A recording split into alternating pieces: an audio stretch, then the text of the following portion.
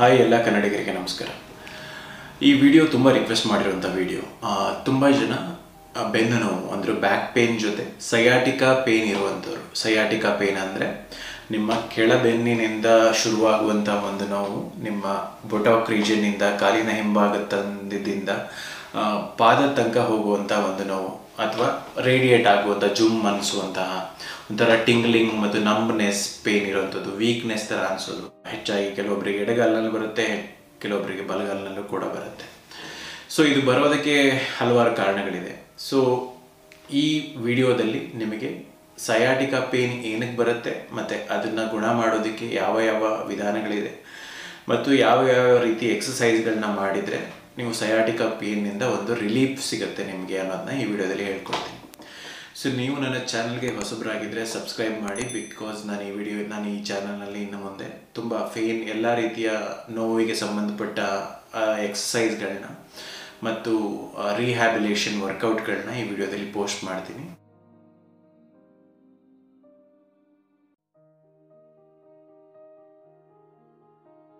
Back pain ಅನ್ನೋದು ತುಂಬ common ವಿಷಯ ಇವಾಗ. ತುಂಬ ನನ್ನ ರೆಗ್ಯುಲರ್ ಆಡಿಯನ್ಸ್ ಕೇಳೋದೇನೆಂದರೆ ನಿಮಗೆ ಪೇನ್ ಇಲ್ಲ ಅಂದರೂ ಪರವಾಗಿಲ್ಲ. ಇದು ಬೇರೆಯವರಿಗೆ ಯಾರಿಗಾದರೂ ನಿಮಗೆ ಸಂಬಂಧಪಟ್ಟವರಿಗೆ ಪೇನ್ ಇರೋದು ಇರ್ಬೋದು. ಸೊ ಈ ಇದನ್ನು ನಿಮ್ಮ ವಾಟ್ಸಪ್ ಗ್ರೂಪ್ಗಳಲ್ಲಿ ಶೇರ್ ಮಾಡಿ, ನಿಮಗೆ ಗೊತ್ತಿರೋ ಫ್ರೆಂಡ್ಸ್ಗಳ ಜೊತೆ ಶೇರ್ ಮಾಡಿ. ಬೇಕಂದರೆ ತುಂಬ ಜನ, ತುಂಬ ಎಮರ್ಜೆನ್ಸಿ ಕಾಲ್ ಥರ ಸಯಾಟಿಕ್ ಪೇನ್ ರಿಲೀಫ್ ಆಗಬೇಕು ಅಂತ ತುಂಬ ಕನೆಕ್ಟ್ ಮಾಡೋಕ್ಕೆ ಟ್ರೈ ಮಾಡ್ತಿರ್ತಾರೆ ನನಗೆ. ಸೊ ಆ ಕಾರಣಕ್ಕೋಸ್ಕರ ಇದರಲ್ಲಿ ಒಂದು ಸಂಕ್ಷಿಪ್ತವಾದ ವರದಿ ಕೊಡ್ತೀನಿ. ಸಯಾಟಿಕಾ ಪೇನ್ನ ಹೇಗೆ ರಿಲೀಫ್ ಮಾಡಬೇಕು ಅನ್ನೋದ್ರ ಸಯಾಟಿಕಾ ಪೇನ್ ಅಂದರೆ ಏನು? ಸಯಾಟಿಕಾ ಪೇನ್ ಅಂದರೆ ನಮ್ಮ ಸಯಾಟಿಕ್ ನರ್ವ್ ಅಂತ ಇರುತ್ತೆ. ಸಯಾಟಿಕ್ ನರ್ವ್ ಅನ್ನೋದು ನಮ್ಮ ದೇಹದಲ್ಲಿ ಒಂದು ಅತಿ ದೊಡ್ಡದಾದ ಒಂದು ನರ್ವ್, ನರ. ಅದಕ್ಕೆ ಅದು ನಮ್ಮ ಲೋವರ್ ಬ್ಯಾಕ್ನಲ್ಲಿ ಜನರ ಲೋವರ್ ಬ್ಯಾಕ್ ಒರಿಜಿನಿಂದ ಸ್ಟಾರ್ಟ್ ಆಗುತ್ತೆ. ಅಂದರೆ ಎಲ್ ಫೋರ್ ಎಲ್ ಫೈವ್ ಮತ್ತು S one S two S ತ್ರೀನಿಂದ generate ಆಗುವಂತಹ ಒಂದು ಎಲ್ ಫೋರ್, ಎಲ್ ಫೈ ಮತ್ತು S S one, S two, S three ಇಲ್ಲಿಂದ ಜನರೇಟ್ ಆಗುವಂತಹ ಒಂದು ನರದ ಬ್ರಾಂಚಸ್ ಅಂದರೆ ಎರಡು ಮೇನ್ ನರವ ನರಗಳಿರುತ್ತೆ. ಎರಡು ನ, ದೊಡ್ಡ ದೊಡ್ಡ ನರಗಳು ಇಲ್ಲಿಂದ ಈ ಬ್ರಾಂಚಿಂದ ಸ್ಟಾರ್ಟ್ ಆಗಿ ಅದು ಒಂದು ಶೀಟ್ನ ಥರ ಇರುತ್ತೆ. ಒಂದು ಇಷ್ಟು ದಪ್ಪ ಇರುವಂತಹ ಒಂದು ನರದ ಬ್ರಾಂಚ್ಗಳು ನಿಮ್ಮ ಬೊಟಾಕ್ನಿಂದ ಅಂದರೆ ನಿಮ್ಮ ಅಂಡನಿಂದ ಕೆಳಗಡೆ, ಅದ್ರ ಒಳಗಡೆಯಿಂದ ಕೆಳಗಡೆ ಹಿಂದ್ಗಡೆ ತೊಡೆಯ ಹಿಂಭಾಗ ಮತ್ತು ಕಾಲಿನ ಹಿಂಭಾಗ ಜೊತೆಯಲ್ಲಿ ಪಾದದ ತಕ್ಕ ಹೋಗುತ್ತೆ ಆ ನರ, ನರದ ಬ್ರಾಂಚಸ್ಗಳು ನರಕ್ಕೆ ಎಲ್ಲಿ ಒರಿಜಿನಲ್ ಅಂದರೆ ಈ ಜಾಗದಲ್ಲಿ ಕೆಲವು ತುಂಬ ಕಾಮನ್ ಆಗಿ ಬರುವಂಥ ಇಶ್ಯೂಸ್ ಏನಂದರೆ ಈ ಸಯಾಟಿಕ ಪೇನ್ ಏನಕ್ಕೆ ಬರುತ್ತೆ? ಈ ನರಗಳಿಗೆ ಪಿಂಚ್ ಆದಾಗ ಅಥವಾ ಯಾವುದೇ ರೀತಿ ಇರಿಟೇಷನ್ ಕಾಸ್ ಆದಾಗ ಸಯಾಟಿಕ ಪೇನ್ ಅನ್ನೋದು ಬರುತ್ತೆ. ಈ ನರಗಳಿಗೆ ಯಾವಕ್ಕೆ ಪಿಂಚ್ ಆಗುತ್ತೆ. ಏನು ಕಾರಣಗಳಿಂದ ಪಿಂಚ್ ಆಗುತ್ತೆ ಅಂದರೆ ತುಂಬ ಸ್ಪೈನಲ್ ಇಶ್ಯೂಸ್ ಇದೆ. ಸ್ಪೈನಲ್ ಸ್ಟೆನೋಸಿಸ್ ಇರ್ಬೋದು ಸ್ಪಾಂಡಿಲಿಸ್ಟೆಸಿಸ್ ಇರ್ಬೋದು, ಅಥವಾ ಡಿಸ್ಕ್ ಹರ್ನಿಯೇಷನ್ ಇರ್ಬೋದು. ಸ್ಪೈನಲ್ ಸ್ಟೆನೋಸಿಸ್ ಮತ್ತು ಸ್ಪಾಂಡಿಲಿಸ್ಟೆಸಿಸ್ ಮೋಸ್ಟ್ಲಿ ಐದರಿಂದ ಐದು ಪರ್ಸೆಂಟ್ ಕಾರಣ, ಐದರಿಂದ ಹತ್ತು ಪರ್ಸೆಂಟ್ ನಮ್ಮಲ್ಲಿ ಮಾತ್ರ ಕಂಡು ಬರುತ್ತೆ ಎಲ್ರಿಗೂ ಈ ಕಾರಣಗಳಿರೋದಿಲ್ಲ. ಮತ್ತೆ ಫೆಸೆಟ್ ಜಾಯಿಂಟ್ ಅಟ್ರೋಫಿ ಇರ್ಬೋದು ಮತ್ತು ಕೆಲವೊಂದು ಅರ್ಥರೈಟಿಸ್ ಕಂಡೀಷನ್ಗಳಲ್ಲಿ ನಿಮ್ಮ ಈ ನರಗಳಿಗೆ ಪಿಂಚ್ ಆಗೋದ್ರಿಂದ ಅದು ಕಾಲಿಗೆ ರೇಡಿಯೇಟ್ ಆಗುತ್ತೆ. ಅದಲ್ಲದೆ ತುಂಬ ಕಾಮನ್ ಆಗಿ ಬರುವಂಥ ಇಶ್ಯೂ ಏನಂದರೆ ಡಿಸ್ಕ್ ಹರ್ನಿಯೇಷನ್ ಅಂತ. ಅಂದರೆ ನಮ್ಮ ವರ್ಟಿಬ್ರಾ ಏನಿದೆ? ವರ್ಟಿಬ್ರಾ ಕೆಳಬೆನ್ನಿನಲ್ಲಿ ವರ್ಟಿಬ್ರಾ ಏನಿದೆ? ವರ್ಟಿಬ್ರಾ ಮಧ್ಯದಲ್ಲಿ ಇರುವಂಥ ಡಿಸ್ಕ್ಗಳೇನಿದೆ? ಇದಕ್ಕೆ ಪ್ರೆಷರ್ ಅಥವಾ ಕೆಲವೊಂದು ಏಜಿಂಗ್ ಕಂಡೀಷನ್ಗಳಲ್ಲಿ ಕೂಡ ಈ ಡಿಸ್ಕ್ ಏನಿದೆ ತಿನ್ನಾಗೋದ್ರಿಂದ ಇದರ ಒಳಗಡೆ ಡಿಸ್ಕ್ ಹರ್ನಿಯೇಷನ್ ಅಂದರೆ ಇದ್ರ ಒಳಗಡೆ ಇರುವಂಥ ಒಂದು ಜೆಲ್ ಅಂತಹ ಅಂಶ ಹೊರಗಡೆ ಬಂದು ಈ ನರಗಳಿಗೆ ಚುಚ್ಚುತ್ತೆ. ಸೊ ಆ ನರಗಳಿಗೆ ಚುಚ್ಚೋದ್ರಿಂದ ಅಥವಾ ನರಗಳಿಗೆ ಚಿವುಟೋ ಥರ ಆಗೋದ್ರಿಂದ ಮತ್ತು ಈ ಫೊರಾಮೆಲ್ ಕ್ಯಾನಲ್ ಏನಿದೆ, ಇದರಲ್ಲಿ ಈ ಸ್ಪೈನಲ್ ಸ್ಪೈನಲ್ ಕಾರ್ಡ್ ಏನಿದೆ, ಅದಕ್ಕೆ ಇದು ಇದರ ಗಾತ್ರ ಕಡಿಮೆ ಆಗೋದ್ರಿಂದ ಇದರಲ್ಲಿ ನಿಮಗೆ ನಿಮ್ಮ ಸಯಾಟಿಕ ಪೇನ್ ಸ್ಟಾರ್ಟ್ ಆಗುತ್ತೆ. ತುಂಬ ಜನ ಅನ್ಕೊಂಡಿರ್ತಾರೆ, ಇದೊಂದೇ ಕಾರಣ. ಅಂದರೆ ನನಗೆ ಸಯಾಟಿಕ ಬಂತು ಅಂದರೆ ನನ್ನ ಡಿಸ್ಕ್, ಸ್ಲಿಪ್ ಡಿಸ್ಕ್ ಆಗಿದೆ ಅಥವಾ ಡಿಸ್ಕರ್ನಿಯೇಷನ್ ಆಗಿದೆ. ಅದು ಒಂದಕ್ಕೋಸ್ಕರನೇ ನನಗೆ ಬ್ಯಾಕ್ ಪೇನ್ ಬರ್ತಾ ಇದೆ ಅಂತ ಅನ್ಕೋತಾರೆ. ಅದು ತುಂಬ ತಪ್ಪು ಕಲ್ಪನೆ. ಹೆಚ್ಚಾಗಿ ನೀವು ಎಂ ಆರ್ ಐ ಮಾಡಿದ್ರೆ ರೋಡಲ್ಲಿ ಹೋಗೋ ಹತ್ತು ಜನರು ತೆಗೆದು ಕರ್ಕೊಂಡು ನೀವು ಎಂ ಆರ್ ಐ ಮಾಡಿದ್ರೆ ಅದರಲ್ಲಿ ಒಂದು ಅರವತ್ತು ಪರ್ಸೆಂಟ್ರಿಂದ ಎಪ್ಪತ್ತು ಪರ್ಸೆಂಟ್ ಜನರಿಗೆ ಸ್ಪೈನಲಲ್ಲಿ ಯಾವುದಾದ್ರೂ ಒಂದು ರೀತಿ ಡಿಸ್ಕ್ ಸಣ್ಣ ಆಗಿರೋದು ಅಥವಾ ಡಿಸ್ಕ್ ಪಿನ್ ಆಗಿರೋದು ಅಥವಾ ಯಾವುದಾದ್ರೂ ಡಿಸ್ಕ್ ಹರ್ನಿಯೇಷನ್ ಆಗಿರೋದು ಯಾವುದಾದ್ರೂ ಒಂದು ನಾರ್ಮ್ ಅಬ್ನಾರ್ಮಲಿಟಿ ಇದ್ದೇ ಇರುತ್ತೆ.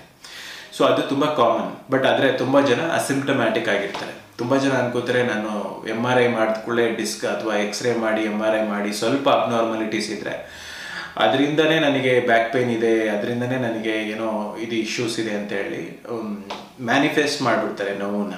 ಓಕೆ ಕೆಲವೊಬ್ರು ಡಾಕ್ಟರ್ಗಳು ನೆಗೆಟಿವ್ ಥಾಟ್ಸ್ ಅಂದರೆ ನೆಗೆಟಿವ್ ಆಗಿ ಮಾತಾಡೋದ್ರಿಂದ ಕೂಡ ಕೆಲವೊಬ್ರು ಅವತ್ತಿಂದನೇ ಅವ್ರ ನೋವುಗಳು ಸ್ಟಾರ್ಟ್ ಆಗಿರುತ್ತೆ.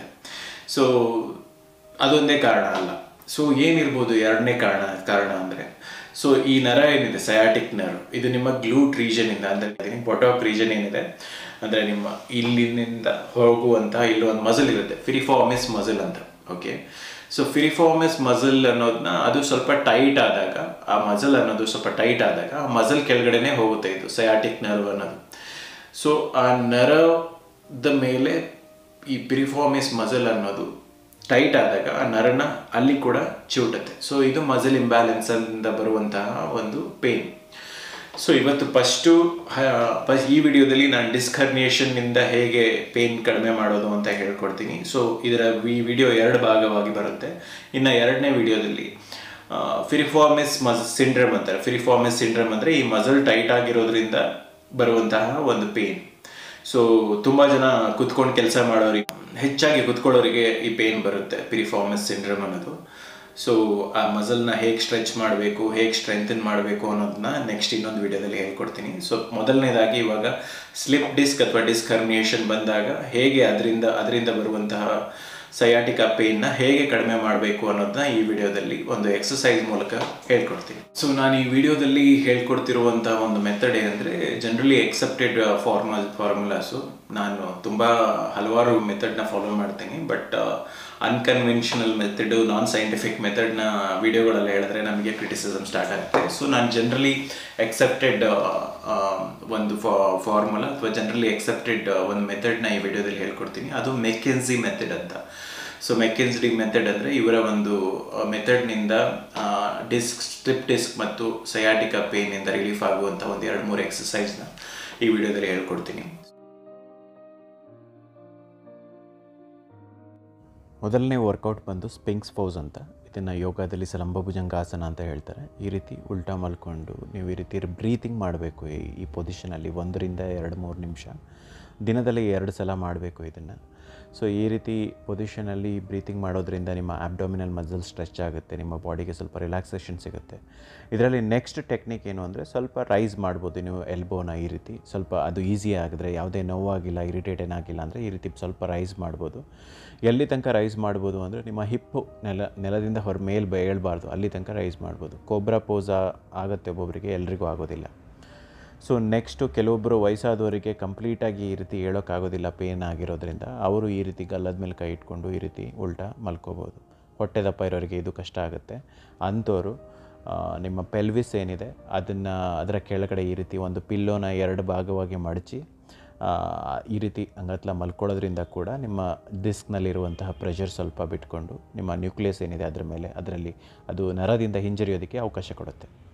ಇನ್ನು next workout supine nerve floss ಅಂತ ಹೇಳ್ತಾರೆ. ಸುಪೈನ್ ನರ್ವ್ ಫ್ಲೋಸ್ ಅಂತ ಹೇಳಿದ್ರೆ ಇದು ನಮ್ಮ ಸಯಾಟಿಕ ನರ್ವ್ ಏನಿದೆ, ಆ ನರ್ವ್ನ ಮೊಬಿಲೈಸ್ ಮಾಡೋದು ಅಥವಾ ಸ್ವಲ್ಪ ಹಂದಾಡಿಸೋದು ಅಂತ ಹೇಳ್ಬೋದು ನನಗೆ ಗೊತ್ತಿರೋ ಕನ್ನಡದ ವರ್ಡಲ್ಲಿ ಸೊ ಆ ರೀತಿ ಮಾಡಿದಾಗ ನಿಮಗೆ ನಿಮಗೆ ಸ್ವಲ್ಪ ರಿಲ್ಯಾಕ್ಸೇಷನ್ ಸಿಗುತ್ತೆ ನರ್ವಕ್ಕೆ ಯಾರಿಗಾದರೂ ಈ ರೀತಿ ಎಕ್ಸಸೈಸ್ಗಳು ಮಾಡಿದಾಗ ನಿಮಗೇನಾದರೂ ಇರಿಟೇಟ್ ಆಗ್ತಿದೆ, ಸ್ವಲ್ಪ ಜಾಸ್ತಿ ಆಗ್ತಿದೆ ನರ ಎಳೆಯೋಕ್ಕೆ ಆಗ್ತಿಲ್ಲ, ಹಿಡ್ಕೊಂಡಾಗ ಆಗ್ತಿದೆ ಅಂದರೆ ಈ ಎಕ್ಸಸೈಸ್ನ ಬಿಟ್ಬಿಡಿ ನೀವು ನೀವು ಮಾಡಬೇಕು ಅಂತಿಲ್ಲ. ಸೊ ಆದರೆ ಇಲ್ಲ ಸ್ವಲ್ಪ ಹೋಗಿ ಮಾಡ್ತಾ ಮಾಡ್ತಾ ಇನ್ನು ಹೀಲ್ ಆಗ್ತಿದೆ ಅಂತ ಹೇಳಿದ್ರೆ, ಅಂದರೆ ಕಡಿಮೆ ಆಗ್ತಿದೆ ಅಂತ ಹೇಳಿದರೆ ನೀವು ಇದನ್ನು ಮಾಡ್ ಮಾಡ್ಬೋದು ಬಟ್ ಇದನ್ನು ತುಂಬ ಕೇರ್ಫುಲ್ಲಾಗಿ ಮಾಡಬೇಕು. ಸೊ ಇದರಲ್ಲಿ ಎರಡು ಥರದಿದೆ ಯಾರಿಗೆ ಬೆಳಗ್ಗೆ ಎದ್ದ ಕೂಡಲೇ ನೆಲ ಹೇಳೋಕ್ಕಾಗೋದೇ ಇಲ್ಲ ಬೆಡ್ಡಿಂದ, ಅಂಥವ್ರು ಈ ರೀತಿ ಮಾಡ್ಕೊಂಡು ಹೇಳ್ಬೋದು. ಒಬ್ಬೊಬ್ಬರಿಗೆ ಬೆಡ್ಡಿಂದ ಎದ್ದಾಗ ನಾನು ಹಿಡ್ಕೊ, ಹಿಡ್ಕೊಂಡಿರುತ್ತೆ, ಅವರಿಗೆ ಸರಿ ಮಾಡ್ಕೊಳ್ಳೋದಕ್ಕೆ ಒಂದು ಸಯಾಟಿಕ ಕಾಲು ಹಿಡ್, ನೋವು ಹಿಡ್ಕೊಂಡಿರುತ್ತೆ, ಸ, ಎದ್ದು ಸರಿ ಮಾಡ್ಕೊಳ್ಳೋದಕ್ಕೆ ಅವ್ರಿಗೆ ತುಂಬ ಸಮಯ ಬೇಕಾಗುತ್ತೆ. ಅವ್ರು ಈ ರೀತಿ ನರ್ವ್ ಫ್ಲೋಸ್ ಮಾಡಿ ಹೇಳೋದ್ರಿಂದ ಹೇಳ್ಬೇಕು, ಹೇಳಿದ್ರೆ, ಈ ರೀತಿ ನರ್ವ್ ಫ್ಲೋಸ್ ಮಾಡಿ ಇದ್ದರೆ ಅವರಿಗೆ ಸ್ವಲ್ಪ ರಿಲ್ಯಾಕ್ಸೇಷನ್ ಮೊದಲೇ ಇರುತ್ತೆ, ಜಾಸ್ತಿ ಹಿಡ್ಕೊಂಡಿರೋದಿಲ್ಲ ಕಾಲು. ಸೊ ಇನ್ನು ಇದನ್ನು ಕೂತಿರೋ ಪೊಸಿಷನಲ್ಲೂ ಮಾಡ್ಬೋದು. ತುಂಬ ಜನ ಕೂತ್ಕೊಂಡು ಕೆಲಸ ಮಾಡೋರು ಕೂತ್ಕೊಂಡು ಹೇಳೋಕ್ಕಾಗದೇ ಇದ್ದಾಗ ಅಥವಾ ಎದ್ದು ಕೂಡಲೇ ಕಾಲು ಹಿಡ್ಕೊಡ್ತಿದೆ ಅದು ಅರ್ಧಕ್ಕರ್ಧ ಸ್ವಲ್ಪ ದಾರಿ ನಡ್ಕೊಂಡು ಹೋದ್ಮೇಲೆ ಆಮೇಲೆ ಕ, ನೋವು ಕಡಿಮೆ ಆಗುತ್ತೆ ಅಂತ ಹೇಳಿದ್ರೆ, ಅವರು ಹೇಳೋದಕ್ಕಿಂತ ಮುಂಚೆ ಈ ರೀತಿ ಸೀಟೆಡ್ ನರ್ವ್ ಫ್ಲೋಸ್ ಅಂತ ನರ್ವ್, ಇದನ್ನು ಸಯಾಟಿಕ ನರ್ವ್ನ ಮೊಬಿಲೈಸ್ ಮಾಡುವಂಥ ಒಂದು ಟೆಕ್ನಿಕ್ಕು ಸೊ ಇದರಲ್ಲೂ ಕೂಡ ನಿಮ್ಮ ಸಯಾಟಿಕ ನರ್ವ್ ಏನಿದೆ, ಅದನ್ನು ಫ್ಲೋ ಅದು ನರ್ವ್ ಫ್ಲೋಸ್ ಆಗುತ್ತೆ. ಸೊ ಇದು ಒಂದು ಟೆಕ್ನಿಕಲ್ ವರ್ಕೌಟು ಸೊ ಇದರಲ್ಲೂ ಕೂಡ ನಿಮಗೇನಾದರೂ ನೋವು ಆಗ್ತಿದೆ ಇರಿಟೇಟ್ ಆಗ್ತಿದೆ ಅಂದರೆ ಇದನ್ನ ಕೂಡ ಮಾಡಬೇಡಿ. ಬಟ್ ನಿಮಗೇನಾದರೂ ಸೊಲ್ಯೂಷನ್ ಸಿಗ್ತಾ ಇದೆ ಅಥವಾ ರಿಕವರಿ ಆಗ್ತಿದೆ ಅದರಿಂದ ಅಂದರೆ ಇದನ್ನು ನೀವು ಮಾಡ್ಬೋದು. ಸೊ ಇದನ್ನು ಕೂಡ ದಿನದಲ್ಲಿ ಒಂದರಿಂದ ಎರಡು ನಿಮಿಷ ಅಥವಾ ಒಂದು ಹತ್ತು ಸಲ ಒಂದು ಎರಡು ಸೆಟ್ನಲ್ಲಿ ಎರಡು ಸಲ ಮಾಡ್ಬೋದು ಇನ್ನು ಮುಂದಿನ ವರ್ಕೌಟು ಪಿಜಿನ್ ಪೋಸ್ಟ್ ಸ್ಟ್ರೆಚ್ ಅಂತ. ಸೊ ಇದನ್ನು ಕೂಡ ಯೋಗದಿಂದನೇ ಡಿರೈವ್ ಮಾಡಿರೋದು.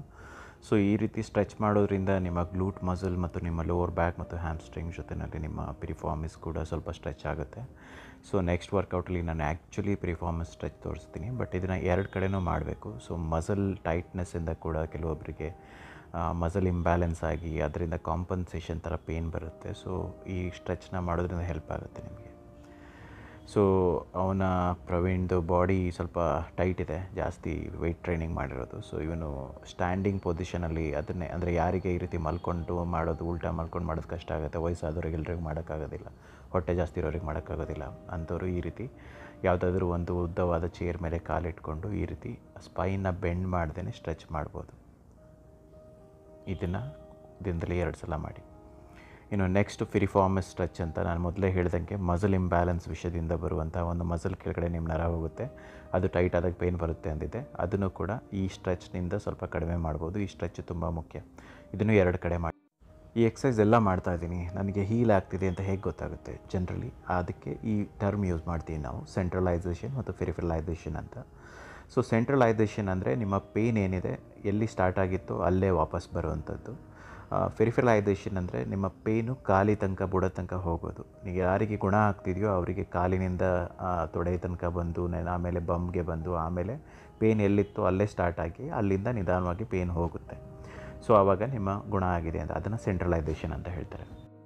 ನಿಮಗೆ ಇದ್ರ ಬಗ್ಗೆ ಏನಾದರೂ ಕ್ವಶನ್ ಇದ್ದರೆ ನಿಮ್ಮ, ನಾನು Instagram account Kiran underscore Sagar underscore fitness ನನ್ನ ಇನ್ಸ್ಟಾಗ್ರಾಮ್ ಅಕೌಂಟ್ನಲ್ಲಿ ಲೈವ್ ಬರ್ತಾ ಇರ್ತೀನಿ. ಅದರಲ್ಲಿ ಬಂದು ನಿಮ್ಮ ಕ್ವಶನ್ಗಳನ್ನ ಕೇಳ್ಬೋದು. ಹಾಗೆ ಫಾಲೋ ಮಾಡಿ.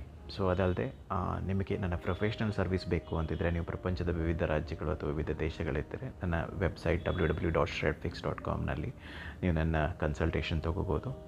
ನಾವು ಪೇನ್ ಫ್ರೀ ಮೂಮೆಂಟ್ ಥೆರಪಿ ಅಥವಾ ಕನ್ಸರ್ವೇಟಿವ್ ಪೇನ್ ಮ್ಯಾನೇಜ್ಮೆಂಟ್ ಪ್ರೋಗ್ರಾಮ್ ಅಂತ ಮಾಡ್ತೀವಿ. ಅದರಲ್ಲಿ ನ್ಯೂಟ್ರಿಷನ್ ಮತ್ತು ಎಕ್ಸಸೈಸ್ ಮೂಲಕ ಈ ರೀತಿ ನೋವುಗಳನ್ನ ಹೀಲ್ ಮಾಡ್ತೀವಿ. ನಿಮಗೆ ವಿಡಿಯೋ ಇಷ್ಟ ಆಗಿದ್ದರೆ ಸಬ್ಸ್ಕ್ರೈಬ್ ಮಾಡಿ, ಹಾಗೆ ಸ ನೋಟಿಫಿಕೇಷನ್ ಬೆಲ್ ಒತ್ತೋದನ್ನ ಮರಿಬೇಡಿ. ಹಾಗೆ ಈ ವಿಡಿಯೋನ ಎಲ್ರಿಗೂ ಶೇರ್ ಮಾಡಿ ನಿಮಗೇನೋ ಡೌಟ್ ಇದ್ದರೆ ದಯವಿಟ್ಟು ಕಾಮೆಂಟ್ ಮಾಡಿ.